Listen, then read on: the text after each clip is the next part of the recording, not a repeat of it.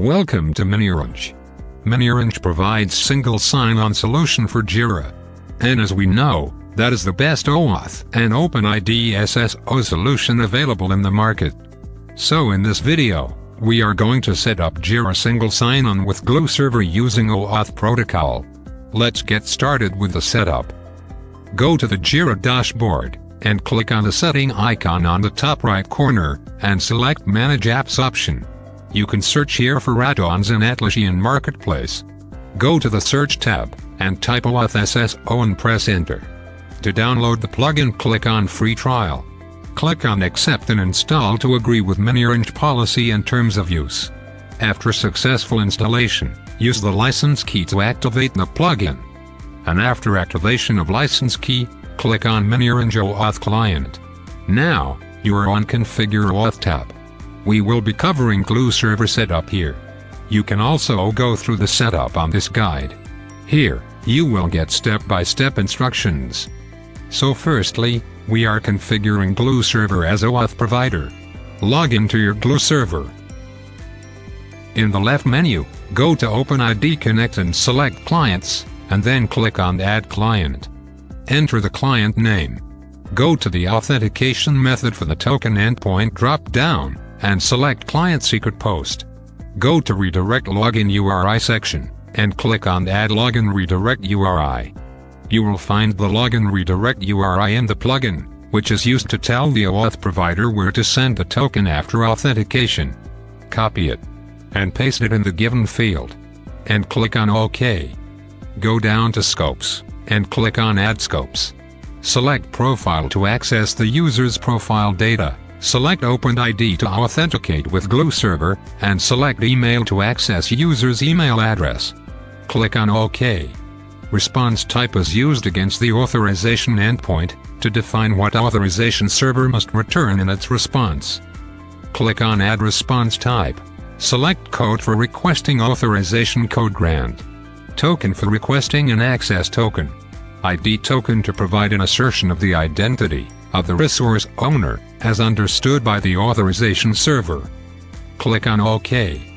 Grant type refers to the way an application gets an access token.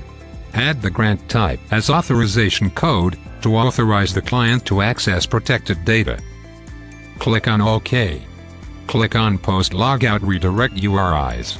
Enter the URL where you want to redirect the page after logout. Here, we will put our Jira's base URL. Click on OK. Scroll down, and click on Add. New client is added successfully. Navigate to the Advanced Settings tab. Configuring front channel logout URL is optional. To configure front channel logout URI, enter the Jira's base URL, and append it with the URL as shown. Click on OK and update the settings. Settings updated successfully. Now, in the left panel, under OpenID Connect, go to Clients. Select oxTrust Admin GUI from the Clients list. Navigate to the Advanced Settings tab.